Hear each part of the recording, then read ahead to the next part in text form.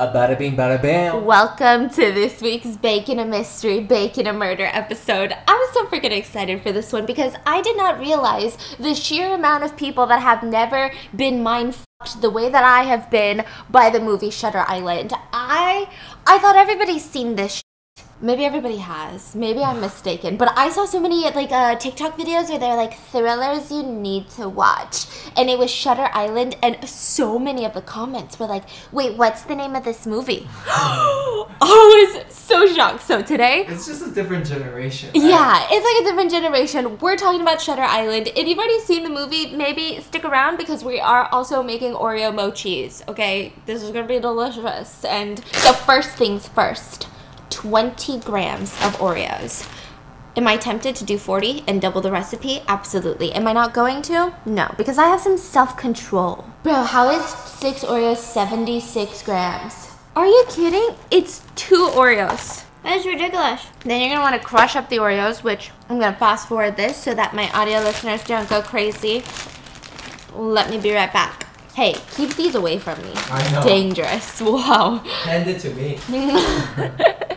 So anyway, the best way to describe Shutter Island is to not describe it at all. We're just gonna jump right into it, and I think for the first two thirds of this entire video, you're gonna be fucking confused. I don't know how else to describe it. You're going to be confused. It's gonna feel like the worst movie that you've ever listened to until until it hits you, okay? Do you know how to get to Boston Harbor Islands? You probably don't know. It, it's not really like a picturesque island with topless beachgoers hanging out by the shores. I know, I know, it's disappointing, but before you click out, let me explain. The journey to the islands is not easy. You can only get there by boat. And the waters are rocky. It's almost as if the waters are telling you, warning you not to come because this island is getting weird. So, Teddy Daniels, otherwise known as Edward Daniels, he's on the boat and Maybe it's the nerves or the waves, but something is getting to Teddy. It's unclear, but he's hacking up a storm in the boat bathroom. Like, not a good start if you ask me.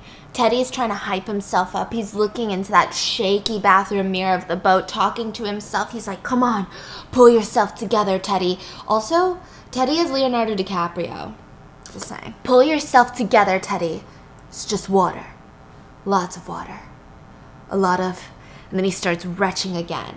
The guy has a thing for seasickness, I guess, okay? I love this movie for their vibes because all of the guys are in those long detective trench coats, the fedoras, and the, the energy is just immaculate. Now, Teddy makes his way up to the docks where he's met with the partner, Chuck. So Teddy and Chuck are both detectives. They work for the federal U.S. Marshal's office, and they've been partnered for this case, this case that they're going to tackle on the island. Now, Chuck says he's from Seattle, but he's heard all about Teddy. Teddy's kind of a god in the detective world. He's quite literally the man, the myth, the legend, you know? So they start trying to get to know each other, and you know, they're getting to the island. And as they're standing dangerously close to the docks, the skies are like this thick, foggy gray color the kind that's so thick that you can't even see what's in front of you. You can't even see if the island is even coming closer and closer because the fog is that intense. You look like you're boating directly through a cotton candy cloud, and it's not pleasant, it's unsettling. But these detectives, everything that they're handling is unsettling, so they're used to it. Chuck says, So you married? You got a girl at home waiting or something? I was married. Teddy was married. You know how um, they say two opposites are perfect? That was kind of Teddy and his wife. Teddy was the very serious detective, the one that comes home after handling all these mysteries and crimes, and he likes to sit in the corner and like look out the window, right? And the first little preview that we get a flashback of his wife, she's this happy go lucky, lovely woman who would pick out the most colorful ties for Teddy to wear to work. Like, I'm talking pink and green, strawberry kiwi colored ties that she's putting this full on detective in. She always seems so giggly. But Teddy's like, she died. Jesus, uh, I, I didn't know. I'm, I'm sorry. Don't worry about it. There was a fire at the apartment building while I was at work, and four people died. It was the smoke that got her, not the fire. He starts reaching around in his. Fuck. Where are my cigarettes? Where are my da- I swear I had them before we got on the. And Chuck offers him his own cigarettes, and they start smoking it up together. And they're talking. Do you know anything about what we're about to do? Have you heard anything about this place? Did you get a briefing on the institution? Chuck says all he knows about this place really is that it's a mental hospital. And Teddy's like, yeah, for the criminally insane. So they're investigating a case on an island, and the only thing on the island, this is not Hawaii, this is freaking Rikers Island. It's like a, it's a mental hospital for the criminally insane, and that's it. And you see the island come into view through the fog, and the island looks just as scary as it sounds. It seems like one of those places where, like, okay, now I know why nobody goes on vacation here. That's it. Just criminally insane people. It's scary. There's no easy shores, just this big mountain with cliffs that head straight down into rocky waters. There's no sand. There's no cute little beach. There's only one dock on or off the whole island. That's it. And it's like this island is just attracting storms and clouds. It's covered in storms all the time. I would not be barefoot nor tanning casually on this island. The rain and the mist makes it look even spookier. And I, I don't know what's worse, honestly. Let's just say, just to scratch curiosity's sake, okay? Let's say something were to happen on this island. Let's say someone were to get loose, per se. It seems like the worst type of place to find that person. It's giving Agatha Christie vibes all the way. So Chuck and Teddy are told by the captain, when we dock on shore, we need you to hurry and get the fuck off. They're like, why? What's the rush? And the, the captain is like, well, the storm's coming and we need to get the hell out of town. So we're just abandoning you and we're leaving. We're U turning back immediately. We don't want to get caught here. That's unsettling. The detectives are just being plopped into the middle of this mysterious island with no way out, no backup. I mean, can you see how things are gonna go? They're not gonna go great. So when they dock, the detectives get off the boat and they're met with the deputy warden, warden, which is like the second dude in charge. And he's impressed by Teddy. He's never met a deputy marshal before, and he says, Well, welcome to Shutter Island. I'll be the one taking you up to Ashecliffe. That's where we house the prisoners. And even as Teddy and Chuck are being escorted up to the island to the mental hospital, there are guards with full on assault rifles just staring them down. They're holding the, the freaking guns so firmly up to their chest, they look like they're in a war right now. This is not a welcoming environment, nor is this a good sign. So Teddy's in the little little car and he says, Your boys seem on edge, boss. What's going on, Warden? Yeah, Right now we all are. They start driving up the thick forest onto a tiny dirt road up to the mental hospital. There's broken signs everywhere. It seems like the hospital at one point might have been a place where people genuinely wanted to send people to reform. Maybe it was well funded at one point. Maybe there was a lot of money put into it. Maybe a few good people genuinely thought this was a good idea. But now, now it literally was a horror movie. It did not look good. It looked like the good days were gone, and it was all about keeping the people in for as long as possible. That is the vibe this place is giving. I'm talking rusty metal barbed wire. The fences are electric, so if you touch it, you're getting shocked. And Chuck is impressed. He leans over and he whispers to Teddy, How do you know it's electric fences? How can you tell? I've uh, seen something like it before. Oh. Interesting they get to this big brick wall where this giant iron gate just open up only to reveal another heavily guarded gate which gets opened up. It's almost like a man trap. So they have to open one gate you walk in completely close it then the inside gate gets open. Security is tight around here. The inside is actually kind of cute like the campus of a very fancy private institution like a college the warden gives them a super quick tour, and it goes like this red, bil- red brick building on your right, that's the male ward. We call it Ward A. Red brick building on your left, that's the female ward. We call it Ward B. And that concrete building over there, Ward C. That, that's reserved for the most dangerous patients. They're all housed there. You cannot get into Ward C without the written consent and physical presence of both myself and the doctor, Dr. Colley. Is that understood? And Teddy smirks and says, You act like this insanity is contagious here. You're funny, huh? Anyway, you are hereby required to surrender your firearms right now. What? Warden, with all due respect, we are federal marshals. We are required to carry them at all times. The warden's not having it. He starts listing codes about how when federal agents are inside of a penitentiary, the authorities of that prison have the final authority, so hand your guns over.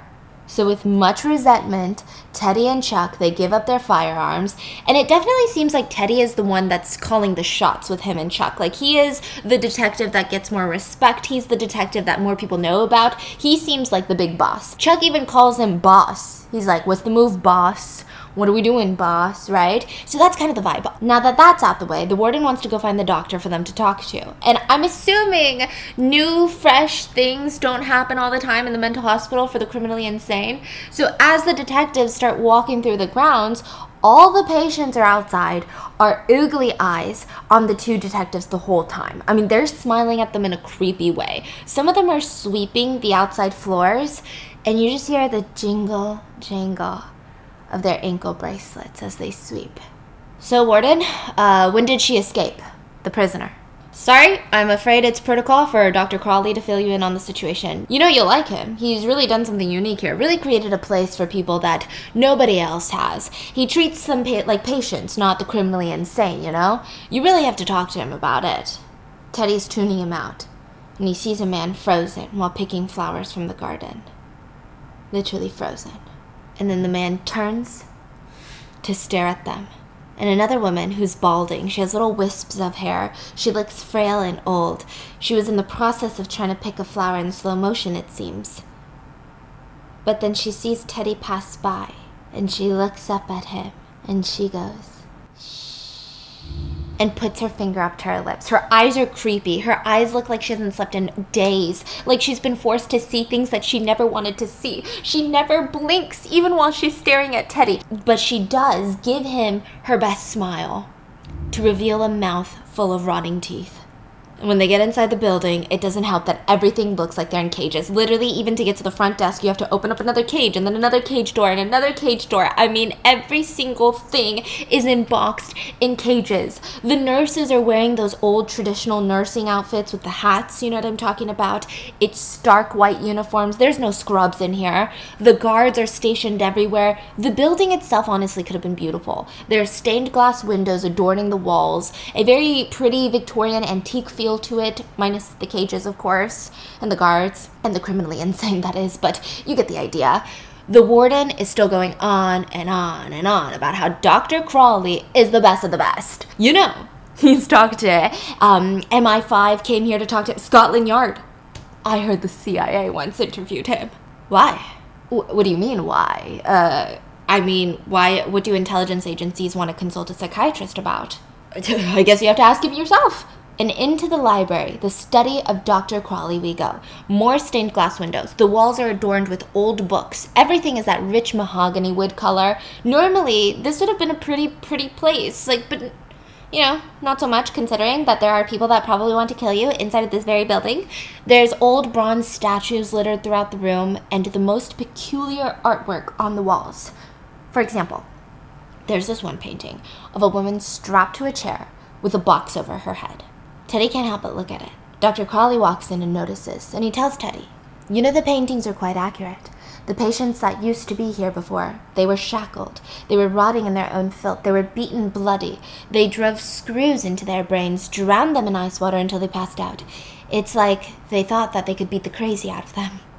And now, we treat them. We try to heal and try to kill the psychosis, and if that fails, at least we provide them a measure of comfort in their lives some calm. Doctor, these are violent offenders, right?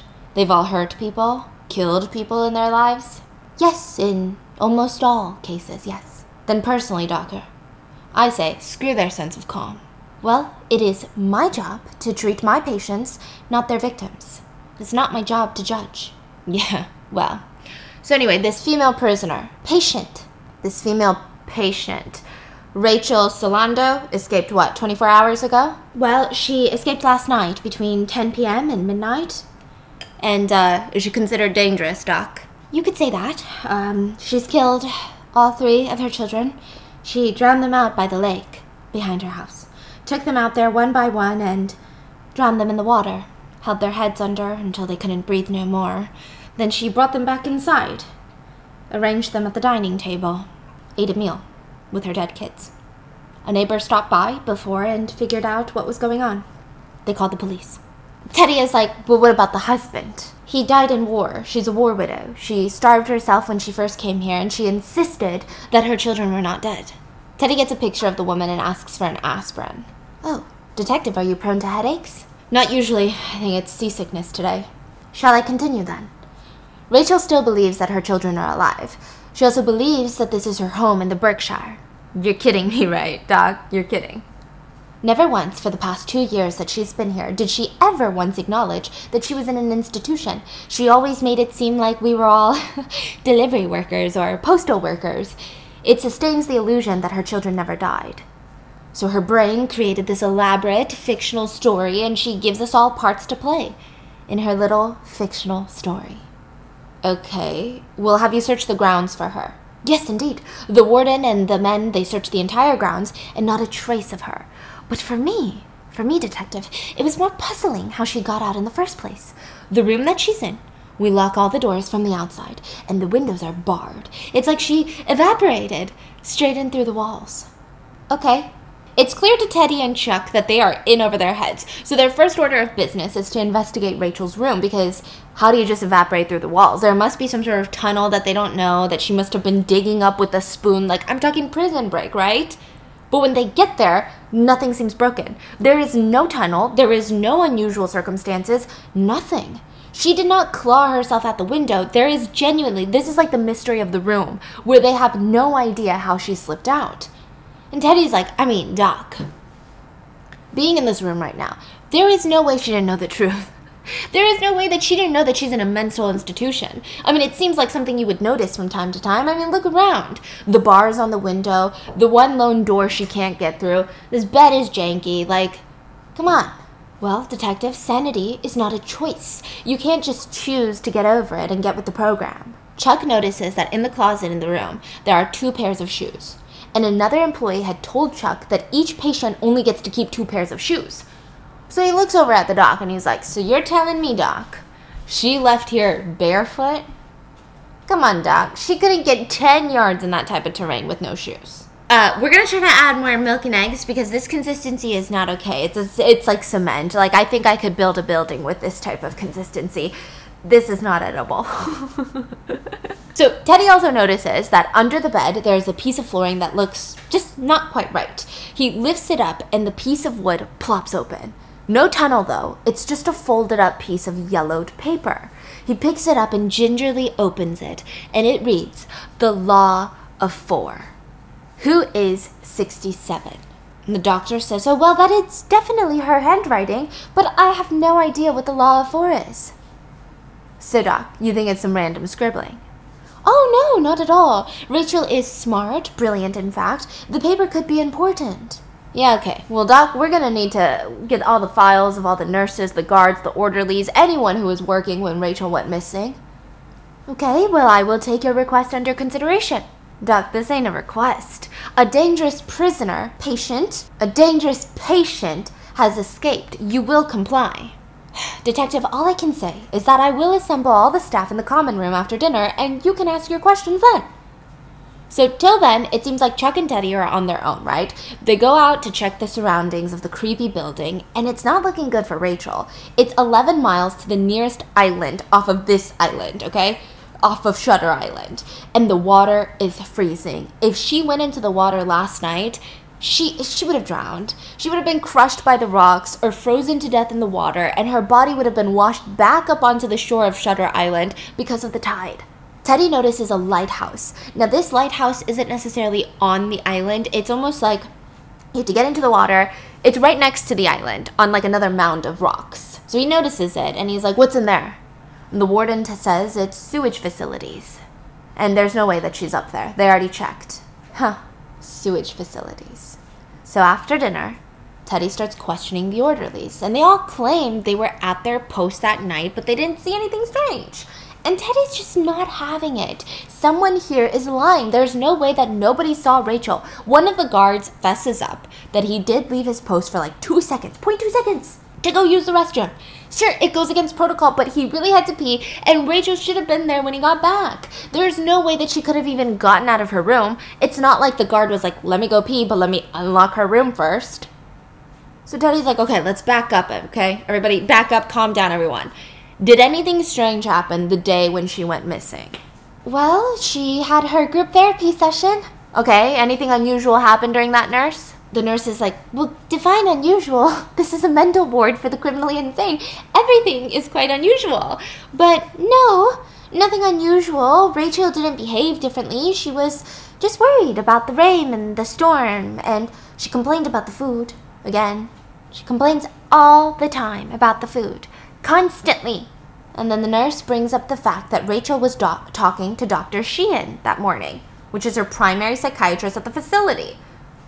So the detectives are like, okay, then let us talk to Dr. Sheehan. And Dr. Crawley says, oh, you can't. Because he's left on the ferry this morning. He's had a long planned vacation, so nothing was going to stop him from leaving. You're telling us that a dangerous patient escaped. We are in a state of total lockdown, and you let her primary doctor leave on vacation? And Dr. Crawley's like, Well, yeah, of course. He's a doctor, not a patient. He can leave whenever he wants. The detectives try to reach out to Dr. Sheehan by the phone, but because of the storm, all the phones are down on the island, and the rain is just coming down hard. The feeling is that nothing really feels for sure. Like everything just feels dangerous. You know, a patient escaped, everybody's on edge, but at the same time, all of the employees seem somewhat calm.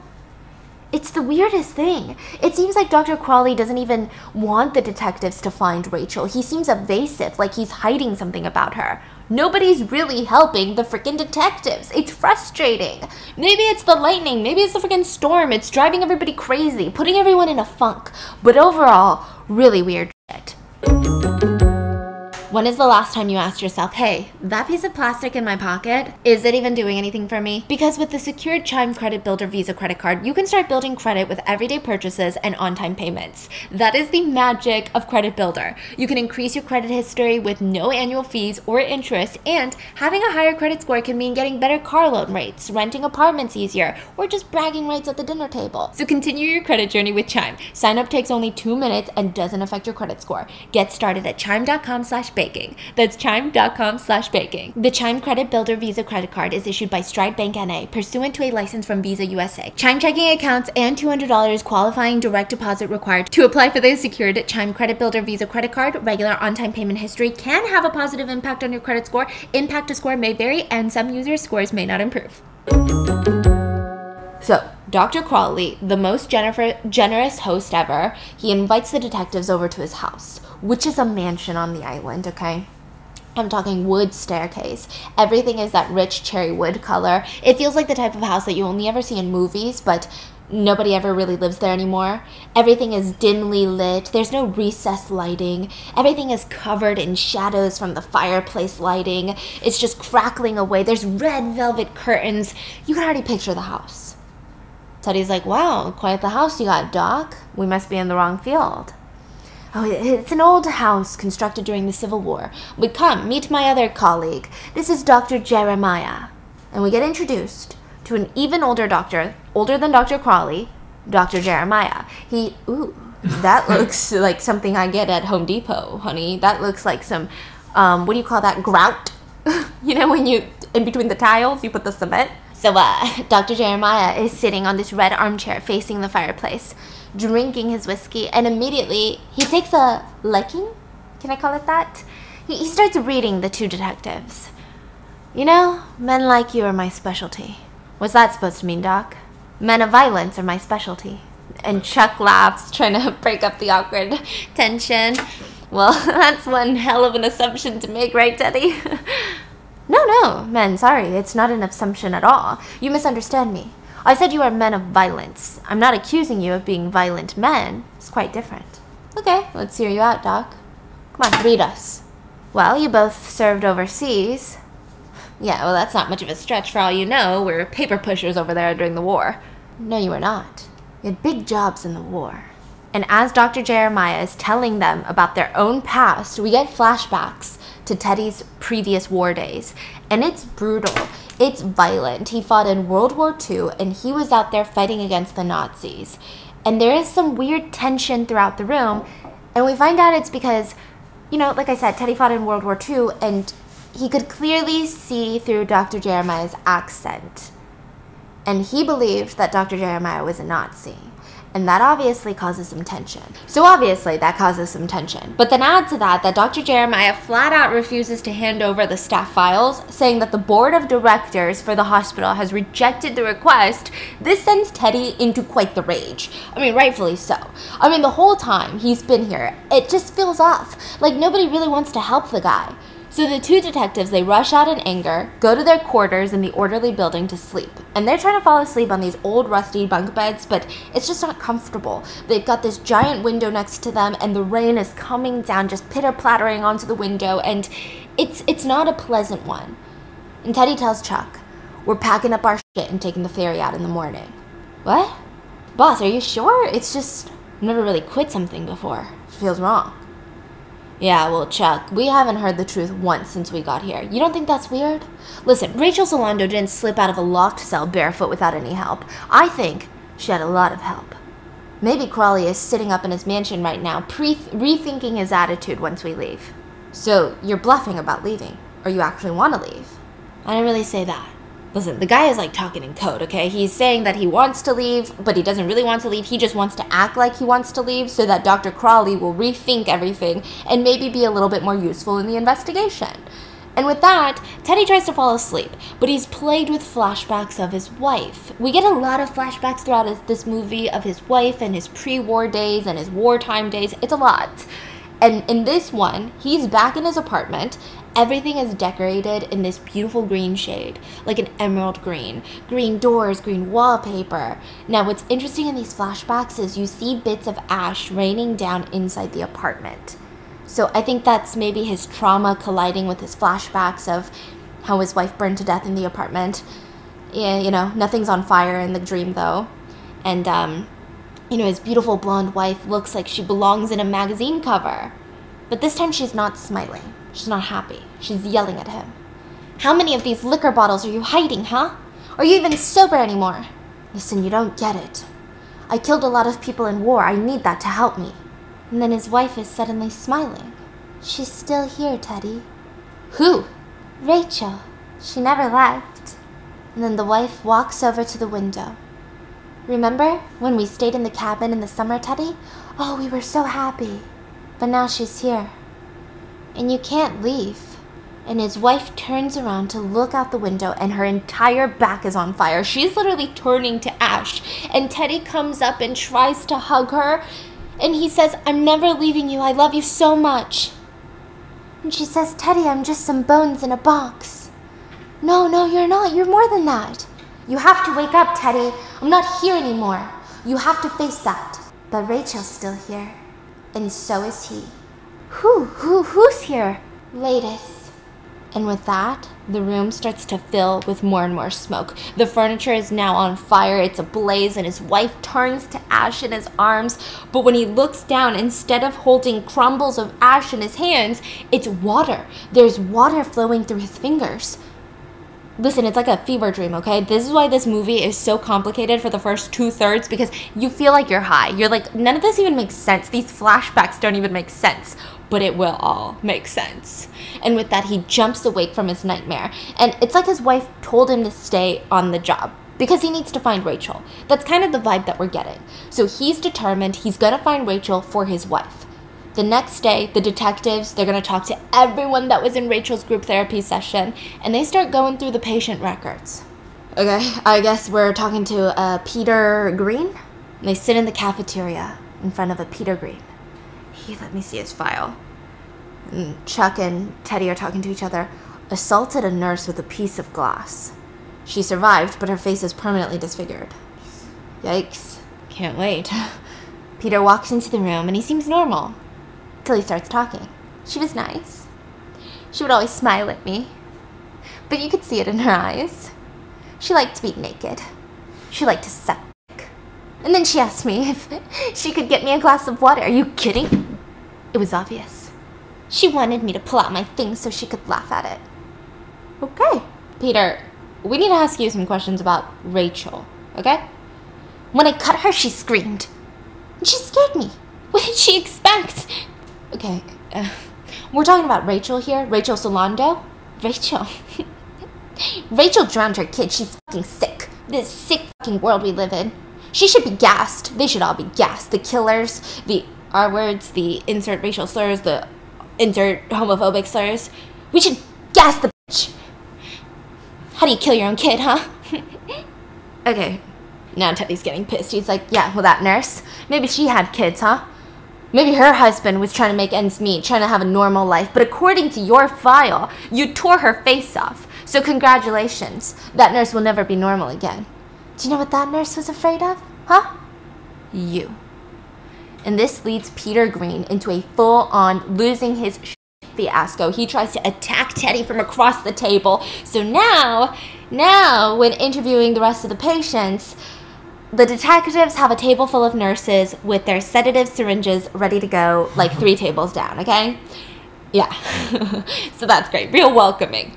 The next woman to come and sit down. She's a real smoker, just smoking cigarettes back to back. I'm not sure when I'll ever get out of here. I probably shouldn't get out of here. And Teddy says, You know, excuse me for saying this, Miss Kearns? Kearns? Mrs. Kearns. Right, well, I don't want to offend you, but you seem really normal.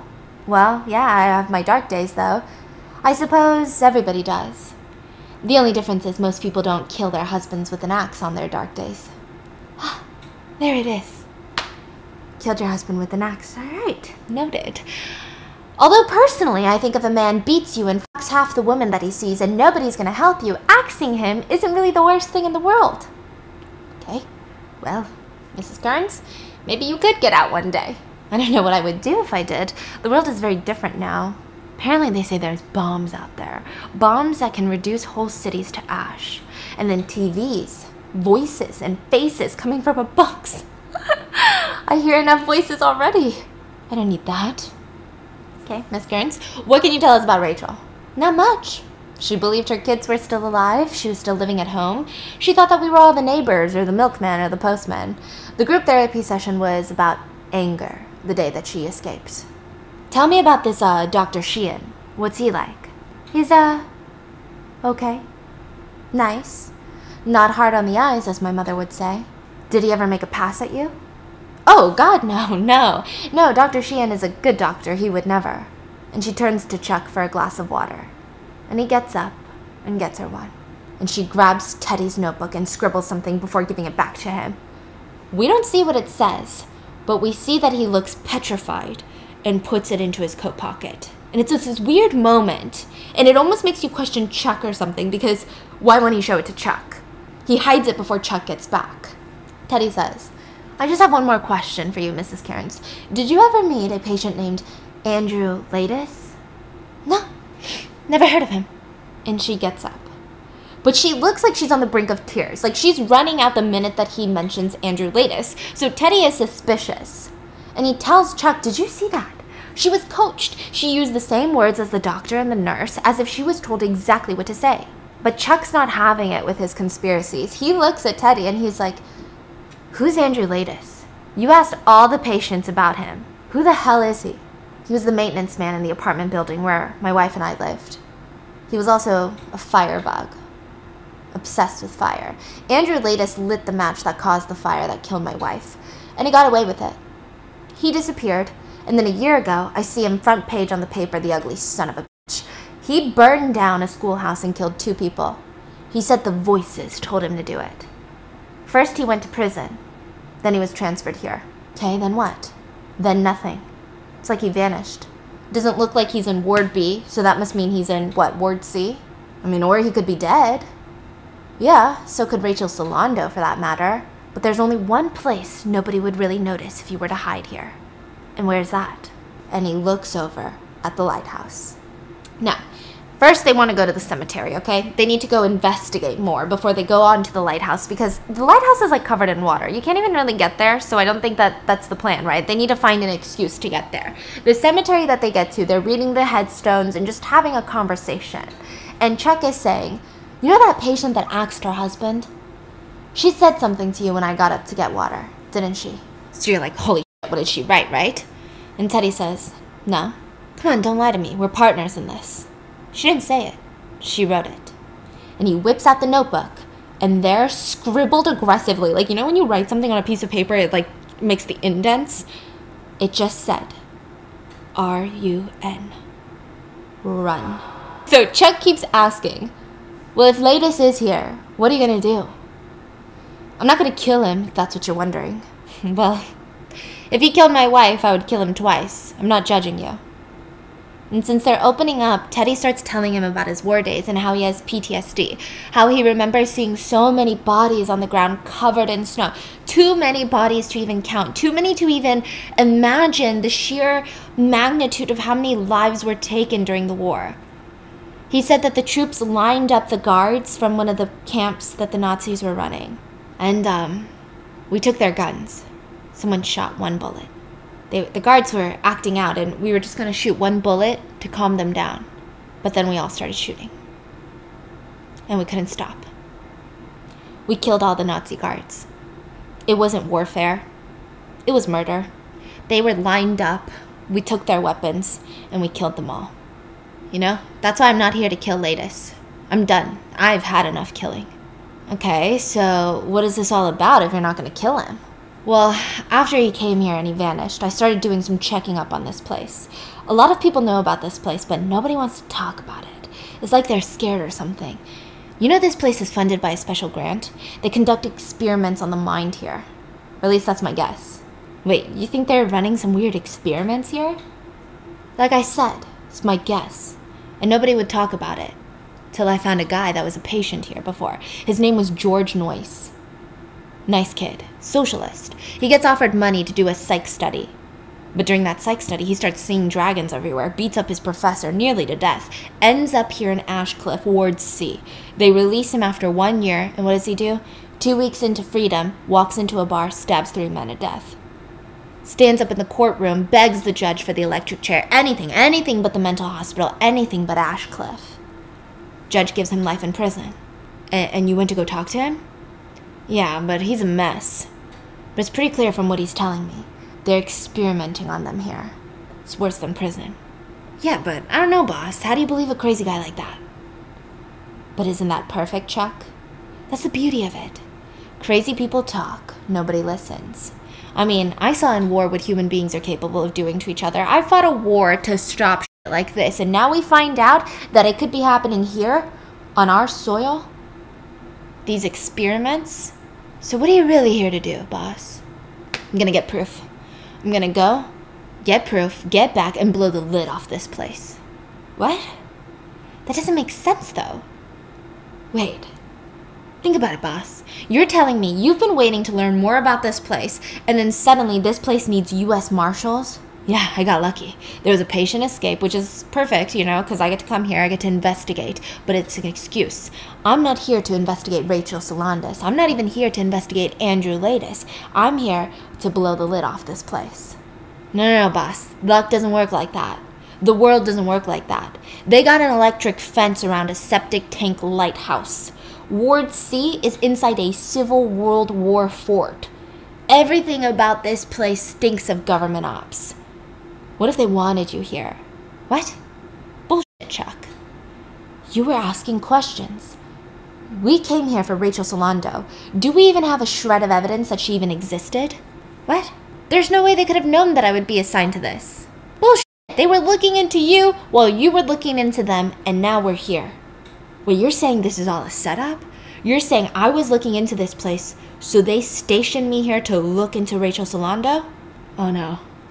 It's darker than I thought. We gotta get off this goddamn island. You and me, we gotta get out. But you and I both know that's not gonna work. The storm is turning into a hurricane. The facilities are going into a super lockdown. Even the detectives have their clothes drenched in rainwater and have to change into those white orderly gowns that the employees are wearing instead of, you know, their fancy suit and tie and trench coats. The doctors are having meetings about what to do. They're all lined up in this very expensive looking room. Well, everyone in Ward C needs to be placed in manual restraints. Dr. Crawley doesn't agree. He says if the facility floods, they will all drown, and you know that. Yeah, but that would take a lot of flooding, Doctor. We're on an island in the middle of a hurricane. Flooding seems rather reasonable. That's 24 human beings if they die. Are you going to be okay with it? Dr. Jeremiah says, Listen, if we could manually shackle the other 42 patients in Ward B and A, I would do it in a heartbeat. So we're picking up that maybe maybe Dr. Crawley is the only good doctor here, regardless of how weird and evasive he seems to be. He seems to be the only type of doctor that really genuinely wants to help these patients in a way that's not just drugging them up or I don't know, lobotomizing them. But Teddy is picking something else up. He's listening to this and his eyes are darting across the room. The note. The note. Dr. Crawley, the note. You just said 24 patients in Ward C. 42 patients in the others. That's a total of 66 patients. Okay, detective, where are you going with this? Well, that seems to be what Rachel Solando is suggesting. Who is 67? You must have a 67th patient here. What? What, what, are, you, what are you talking about? 67th patient? No. And besides, what are you even doing here? Did the warden not tell you the good news? What good news? Rachel has been found. Safe and sound. What? The fuck? So they take the det- literally it feels like a fever dream. This this whole movie feels like a what? So they take the detectives to see Rachel in her cell and her feet are well, she's not wearing shoes, but there's not a single mark on her feet. You know, think that's interesting. She left her two shoes behind in her room and she escaped and she was barefoot, but there's no scars on her feet. And Rachel says, Doctor, who are these men? Why are they in my house? Rachel, these men are police officers and they have a few questions. Teddy leans down and says, Rachel, we're looking for a known terrorist. If you could help us, um, letting us know what you did yesterday, that would help us a lot in putting two and two together. Oh my god. Here? In the Berkshire? In this neighborhood? it's terrifying. Well, I made breakfast for Jim and the children, and I packed his lunch, sent the children off to school, and then, um, I decided to take a long swim in the lake outside. I see. And after that? Um, after that? and Rachel gets up into his face and says, I thought of you. What the And he's like, okay, I'm sorry, ma'am. I don't know what you mean by that. And she says, don't you know how lonely I've been, Jim? So she's out here thinking Teddy is her dead husband. So that's great. Okay, and she's like, You're gone all the time because you're dead, and I cry every night. How am I supposed to survive? And then she hugs Teddy, who hugs her back really intimately, and I'm like, Whoa, Teddy, you're doing a lot. And he's like patting her hair, and I don't know, maybe he just has like a weak spot for unhinged behavior because he's like, It's okay, it's okay. But suddenly she flips a switch and pulls back, and her eyes are all crazy, and she goes, I buried you. I buried you. So who the fuck are you? You're in my house now. And she starts freaking out, trying to attack him, and Dr. Crawley has to sedate her, and the detectives are rushed out of the room. Dr. Crawley tells Teddy that they found Rachel by the shore, skipping rocks. And back in Dr. Crawley's office, we see Teddy completely lose himself. He starts having these crazy migraines, and it might have to do with the flashes of light of the lightning are so bright inside of the office, like literally blinding. And he's hunched over on the recliner, and he's just trying to gag and throw up. And Chuck is freaking out, like, what's wrong with him, Doc? What's wrong with him? He's having a migraine. Have you ever had one of those? Imagine someone sawed open your head and took out the contents and shook it as hard as they could, making a little brain smoothie. Here, take these pills, detect- detectives. They will stop the pain. You need to lie down. And Teddy feels like his head is about to explode, so he gets escorted to this giant room that has now been converted into rows and rows and rows of hospital beds. It's the room that all the hospital staff are going to be in while they prep for the storm, so they're taking cover in this room. Teddy lays down and he makes eye contact with a super evil looking dude. Apparently, he's the real warden of this place. So the other guy is like the second in charge deputy warden, right? Anyway, Teddy concludes the warden looks like a real dick. And as he's slipping away into sleep, he's right back into the war, staring at the dead bodies in the snow. And he sees a family buried in ice.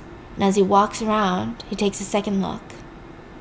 And there's a mom, Rachel, and the kids.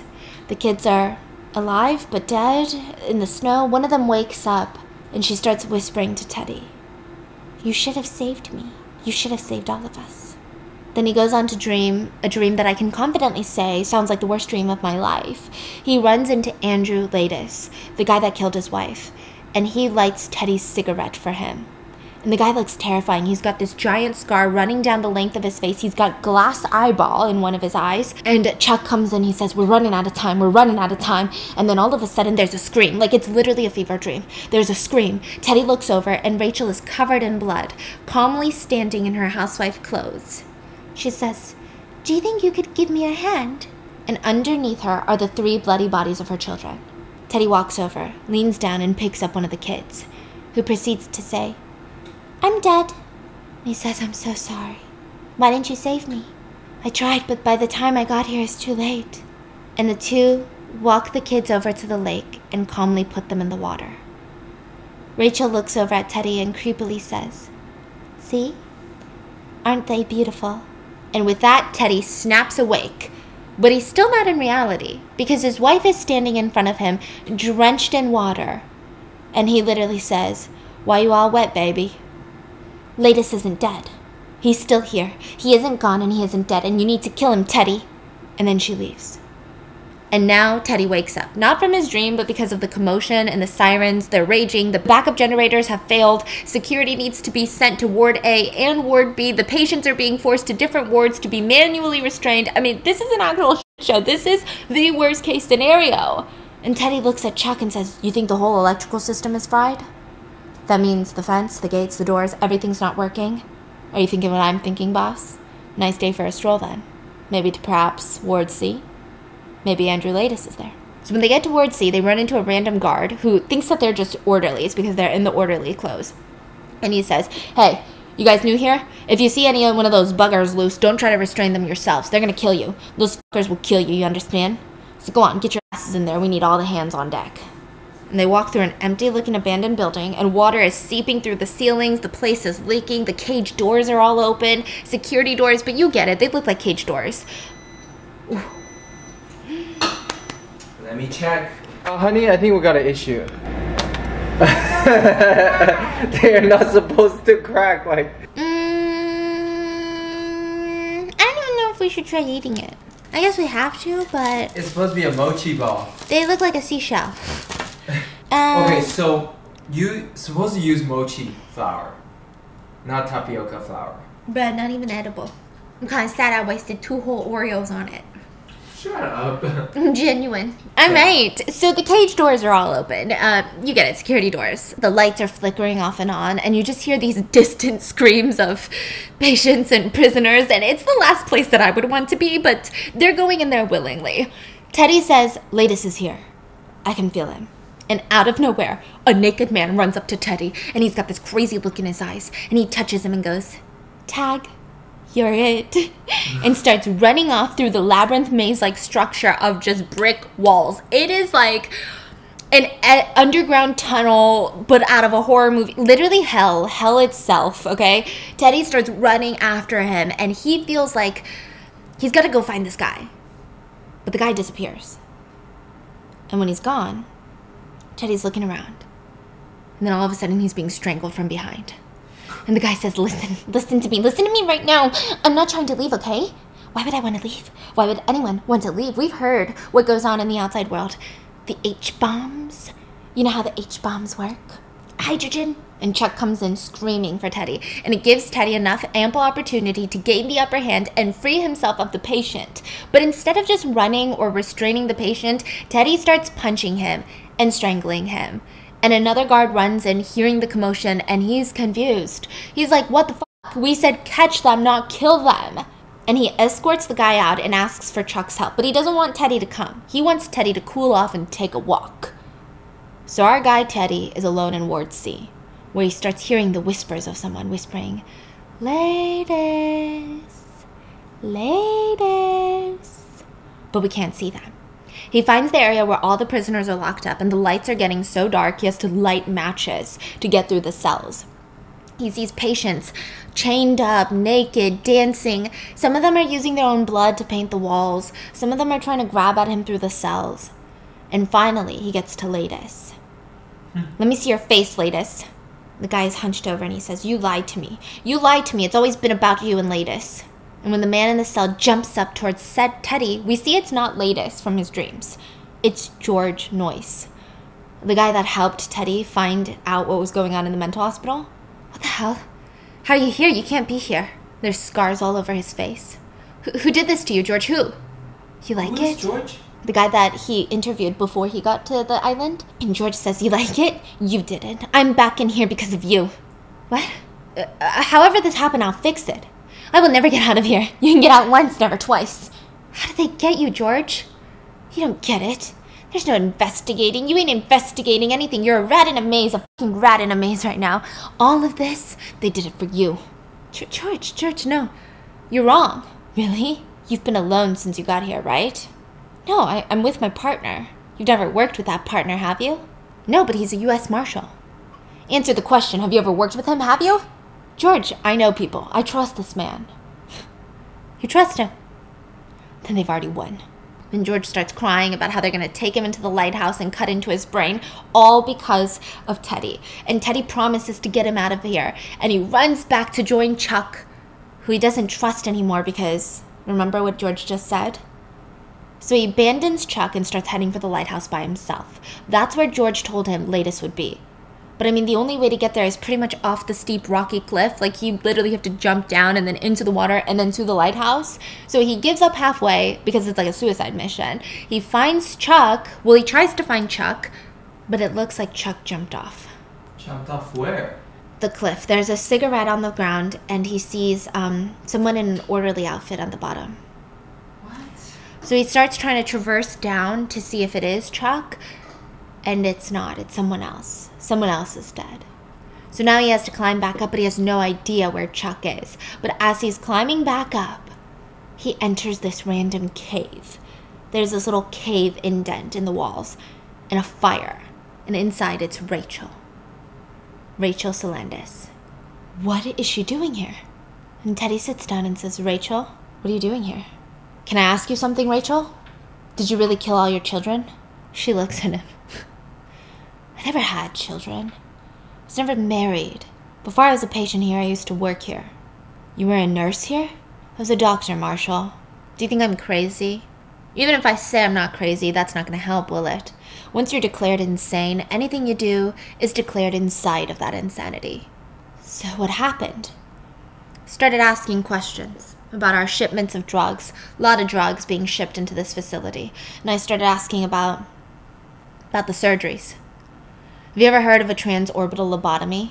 They shock the patient with electricity and then they go through the eye with an ice pick, pull out some nerve fibers, makes the patient more obedient. But it's despicable. Let me ask you, detective. Do you know how the pain enters the body? No?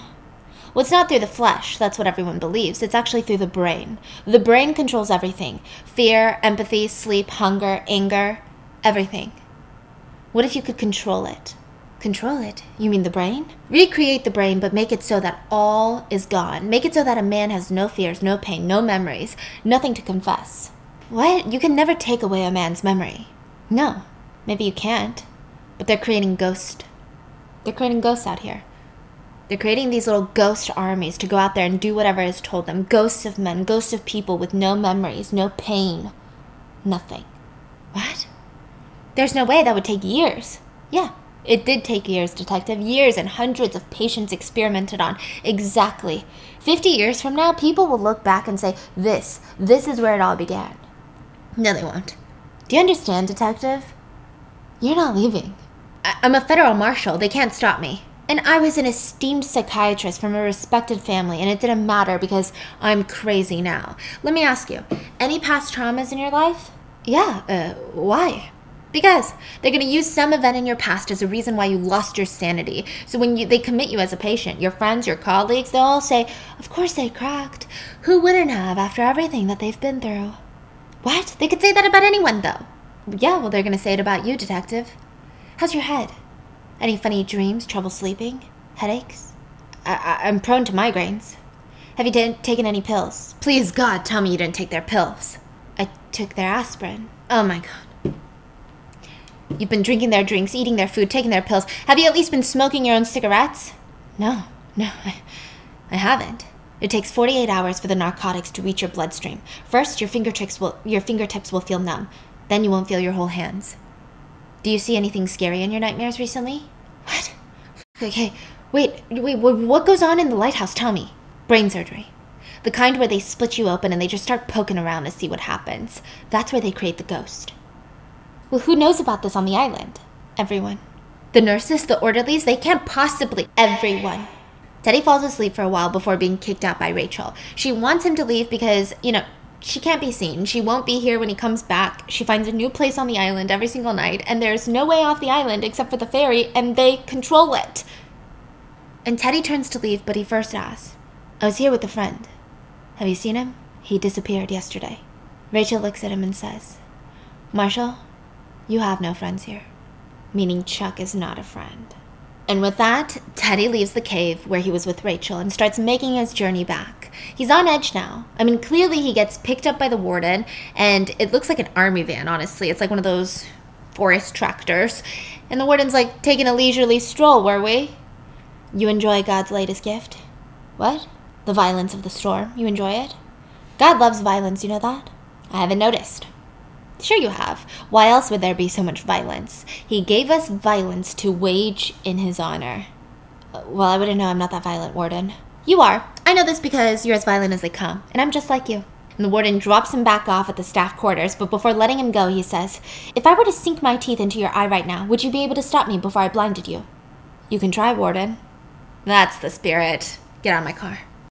So now Teddy gets off the car and goes to meet with Dr. Crawley, and he says, Good to see you, Detective. Glad you're safe after the storm.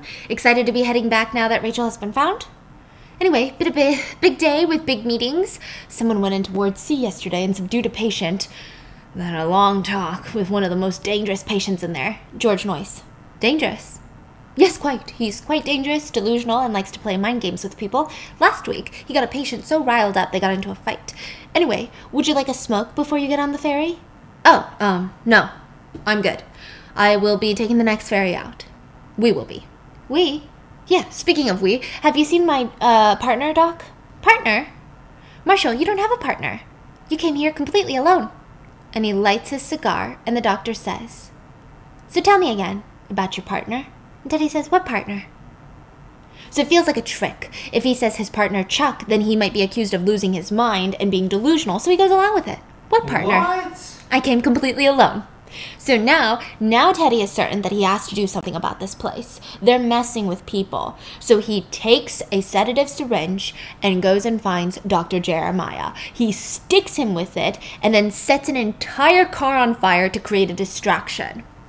He decides he has to make it over to the lighthouse because that's where Chuck probably is. And Chuck is perfect for their experiments. So he, he has war experience, he has detective knowledge, he has combat skills. He starts running through the woods, the bushes, the trees, climbing walls. I mean, really parkouring it out here through the place and makes it into the cold water. He starts swimming against the tide to get into the dark, looming lighthouse that is heavily guarded.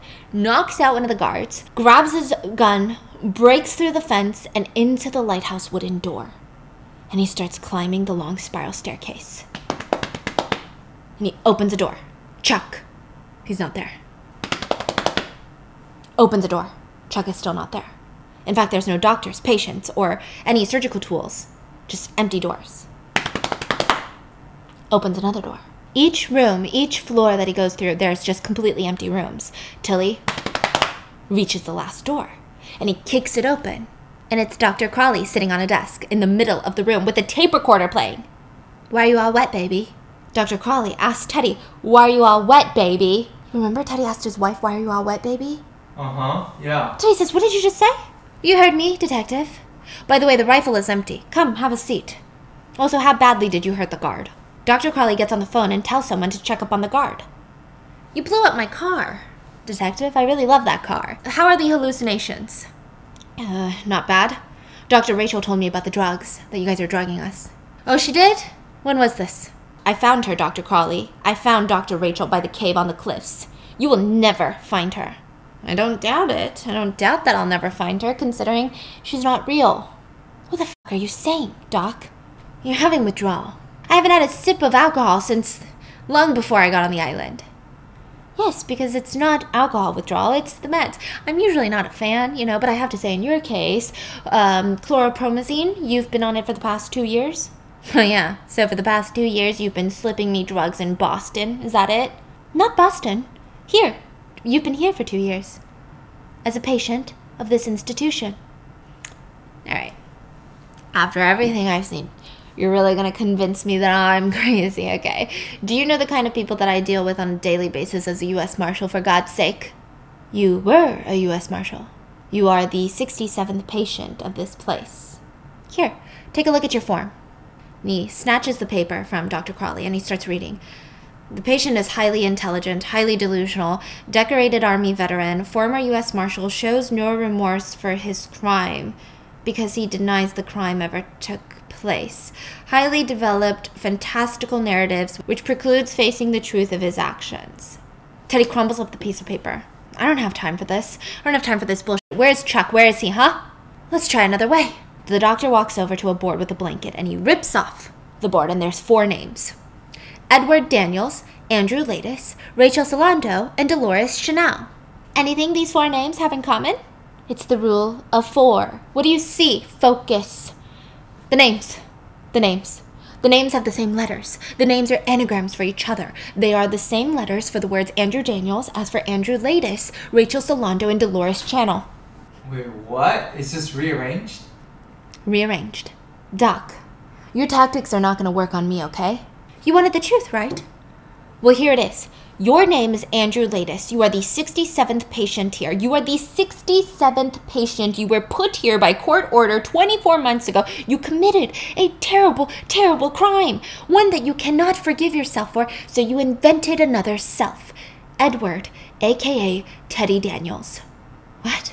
You've created a story where you're not a murderer. You are still a U.S. Marshal, still a hero in your story. You are here to investigate for your job, your hero job, and you've conveniently uncovered a conspiracy so that anything we say to tell you about the truth about who you really are, well, you can chalk it up to lies. My name is Teddy, Edward Daniels. Oh, God, right and your partner and Rachel. Yes, I've been hearing this fantasy for two years now. I know every detail.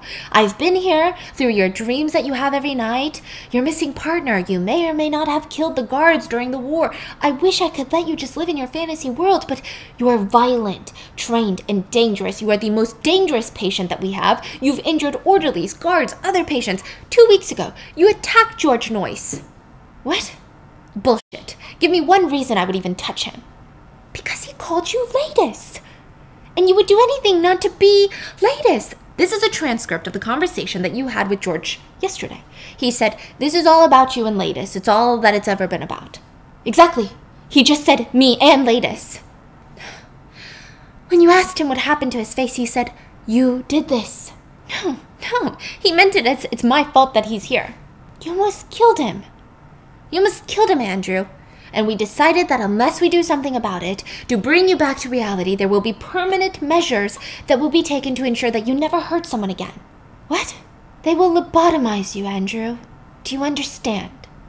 Yes, I understand. If I don't play along here, you guys are gonna turn me into one of those fucking ghosts. What about my partner, huh? You're gonna tell the US Marshal's office that both of us are just gone? And in that moment, in walks Chuck.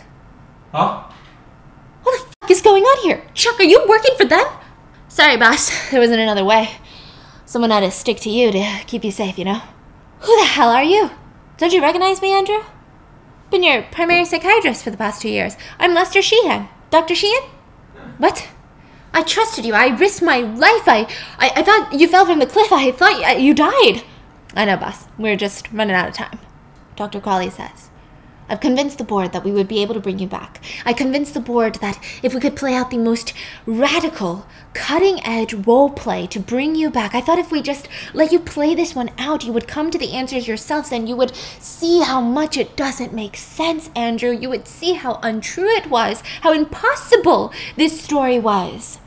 Andrew, listen to us. If we fail with you, everything we've done here will be discredited. We are on the front lines of a war, old boy. We're trying to fix people without lobotomies, without meds. We are the front lines. And Teddy looks pensive and he's sitting there taking us all in. He's nodding. And then he jumps up, grabs the pistol from the desk, and starts pointing it at them. Get back. My name is Edward Daniels. Are you sure that's your gun? Yes. Then go on, shoot it. And he shoots it. It's a toy gun. What have you done? It's a toy, Andrew. Listen to us. Dolores was manic suicidal, okay? You just couldn't stay away. You ignored what everyone told you. You ignored the signs. You moved into that lake house after she purposefully set your city apartment on fire. Andrew, look at your children. Henry, Simon, this little girl, look at these pictures. The one that you dream of every night, the one that tells you you should have saved her. Are you going to deny that your daughter was real? Her name was Rachel. These were your kids by your wife, and your wife drowned them by the lake, Andrew. What? Will you ever deny that your daughter lived? And Andrew starts reaching for the photos, crying. And he sees his wife, who is soaking wet in the corner of the room. She keeps saying, I'm sorry. I told you not to come here. I told you it wouldn't end well, she says. And then we get a flashback. Andrew comes home after a long day of work, and he thought the lake house would help his wife, who is suicidal and delusional. He finds Dolores sitting out near the lake on her swing chair. Dolores! And he says, Why are you all wet, baby? Dolores starts making out with him instead. I missed you. I want to go home. And we will, Dolores. Where are the kids? They're in school. Honey, it's Saturday. School's not open today. Where are the kids? Well, my school is. And Andrew looks over to the lake and he sees three kids floating in the water. They were all his, and they were dead. He tries to perform CPR while Dolores watches from the lakeside, and then he calmly gets them out one by one and lays them on the grass, side by side, posing their hands on their tummies, and he kisses them one by one. He tries to massage their feet to bring them back to life. Meanwhile, Dolores is losing her mind. She sits on his lap and says, Let's just take them back to the table, honey. We can change their clothes and dry them off and have dinner. And tomorrow we can take them on a picnic. They can be like our living dolls. He says, If you ever loved me, Dolores, stop talking. I love you. I love you so much. I just wanted to be free. And while she's rambling about how much she loves him, he grabs his gun and he shoots her and she falls right next to the kids. And there you have it all four of his whole family on the ground in a row, dead. And then when Andrew wakes up from his flashback, he's tied up to his dead bed, screaming, Rachel, surrounded by Dr. Cawley and Dr. Sheehan. Rachel who? Rachel Laeddis, my daughter. Why are you here? Because I killed my wife. And why did you do that? Because she murdered our children. Who's Teddy Daniels? He doesn't exist, and neither does Rachel Solando, I made them up. Why? We need to hear you say it. Because Dolores told me she had an insect in her brain and she could feel it inside of her skull, and she told me that, and I didn't listen, and I loved her so much. And I trusted her, and then she. She killed the kids. Why did you make up these characters? Because I can't live knowing Dolores killed our children, and I. I killed them because you couldn't. I didn't get her any help. I killed them, really, I did. Here's our fear, Andrew. We've been through this nine months ago. We had a breakthrough. And then you regressed. I don't remember that. You reset, Andrew, like a tape playing over and over and over again on an endless loop. So we need to make sure that you've accepted reality this time. I've accepted it. You tried to help me when no one else would. Listen, my name is Andrew Laeddis, and I murdered my wife two years ago. Okay. Good. So now they just have to prove to the board that this worked, right? So Andrew is sitting on the ward steps, and Dr. Sheehan walks up, smoking a cigarette, and he offers him one. Andrew Laeddis takes it. And uh, Andrew Laeddis says, So what's our next move? Dr. Sheehan says, You tell me. He looks around, and he says, We get off this rock, Chuck. We get back to the mainland. Because whatever is going on here is bad. He's back into the loop? Well, it's up for debate. And then we see Dr. Oh. Sheehan, Chuck, whisper something to Dr. Cawley, and they all look disappointed. And Teddy says, Don't worry, Chuck. They won't get us. That's right, because we're too smart for them, aren't we?